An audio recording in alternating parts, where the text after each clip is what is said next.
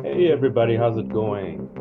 So in today's lesson, we're going to do a like a five minute quick tutorial on how to make a face for your self-portrait project. I'm going to make it pretty simple. You don't have to be very perfect. So uh, just follow along with this, you can create something on your own and have fun and uh, turn that in as your project. So the first thing you want to do is you want to draw an oval. Uh, and the reason I say that is because most human faces look like ovals or they have a variation of ovals. Some of them are a little bit more square, some of them are rounder, but you're never going to see a perfect circle. So you want to start off with a with an oval. So here we go. And before we get started, I forgot to tell you that the materials you're really going to need for this tutorial are going to be a piece of paper. It can be uh, drawing paper whatever scratch paper you find. And number two, pencil. This is really good for drawing and shading. If you have extra shading pencils, that's okay. It is optional. You don't have to have them, but they do help. And uh, you definitely need a separate eraser. The one at the end of your pencil will probably not do so well because you're going to make a lot of mistakes. So do I, and we're going to be erasing. So number two pencil, eraser.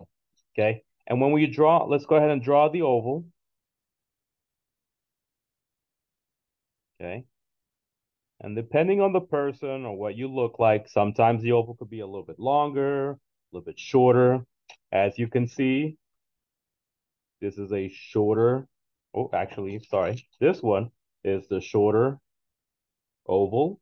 So this person has a smaller, shorter face. This person has a more elongated face, and you can even go longer than that. All right, so now that we drew our oval, let's go ahead and divide it in half.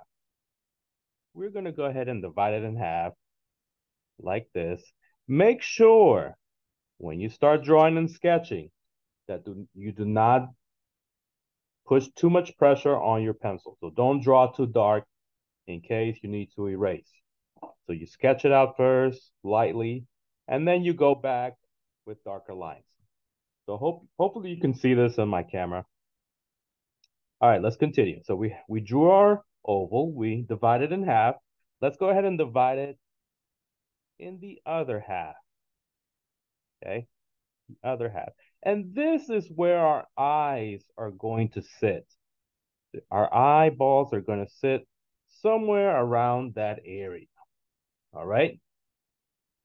So as you can see, it already kind of looks like a face. Okay. So the first thing I like to do after all this is I like to start off with the nose. Okay. So the nose should be lining up this middle line. So one side of the nose here, one side of the nose there. Okay, you don't want your nose to be too big or too small. This is just about right. Okay. So we're going to bring our nose down in here. Okay, and before I continue with my nose, let's go ahead and divide this half of the face into another half. Another half, just like this. All right, so we have half here, this half, and then this half.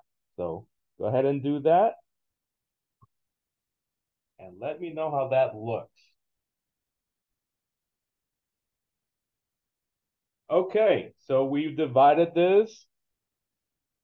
And this is where the lips and the nose are going to meet. But they're not going to touch this line. The nose is going to come up come come down, sorry, come down to about this point above this line, and then the lips are going to sit below that line. Okay. So let's go ahead and put our nose down to here with a with a curve. And then we put a little bit of the nostrils. A dark oval here, one here, one here. And then we're going to just curve that and curve this side. Doesn't have to close. It can be just like that. That looks like a nose, right? And it, remember that it doesn't touch this line. It stays above it. And then below this line are the lips. The lips should be about the width of the nose or bigger. Do not make them smaller. It'll, it'll look a little strange. So let's go a little bit beyond the nose, give a nice smile or lips. Like that. Oops. Let's go ahead and uh, turn off that timer. And we have lips, and let's go ahead and divide. Let's put a little smile on that face. There we go. Okay, that probably went a little bit big, but better than too small. Okay, and you can always erase and make it smaller. All right, so we have nose, we have lips. Let's go ahead, go ahead and draw the eyes. Eyes should be between this area and the edge of the face. Okay, so we have that. Make sure that you draw ovals that are going horizontal. Here's one. Here's another and they can sit on this middle line or go above depending on how you want your person to look. Okay. And then we put some eyeballs. Remember that the eyeballs do not go all the way around like this. They kind of tuck in at the top there. They tuck in at the top. Kind of cuts off there.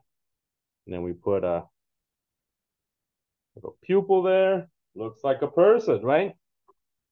Next thing you want to do is you want to go to the sides of the jaw, right about here, and you can make a neck. Neck should kind of slightly curve a little bit, like that, okay? You can make it a little bit wider if you want to be like a super muscular guy, if you want to you want a more feminine look. The neck could be a little thinner. Okay. Depends on what you're going for. Okay. And then let's go ahead and we're going to go to the middle of this section. And this is where the hairline kind of starts. Okay. Don't make it all, don't make hair all the way over here. It's going to look weird. somewhere around here. Okay, and we can divide that into a hairstyle, give it some lines. And then before we continue, let's go ahead and do the ears real quick. Ears should be lined up between the eye, here and here, okay? The bottom of the ear should be a little bit more narrow, and then the top sticks out just a little bit more like that. And then here also, you can always use a ruler to sort of like uh, line it up. Or you can sketch it real quick just for fun. Okay, we got some ears, very cool. Here's a little loop for the ear, another loop right there. And let's continue with the hair, okay? If you want it to look like a some kind of a boy or something, you can go for a short haircut If you want it to look like a girl or have someone, a person with longer hair, you can stretch this longer like that. Okay? Maybe put some funny hat if you want to. Uh, you can put a t-shirt with some kind of uh, stripes or patterns. Oops. Can't really see it. There we go. And that is it. Okay, real quick before we go, before we go, uh, we drew everything here. Uh, we, there's a couple details that we need to add. Let's go ahead and add some eyebrows. We haven't added any eyebrows yet, so we can put an eyebrow here. Make sure it curves at this point here on this edge. Goes towards the nose just like the eye is curving, okay? Same thing here. Give it a little bit of space, not too much and not too little. Probably about, probably like a finger's worth or something.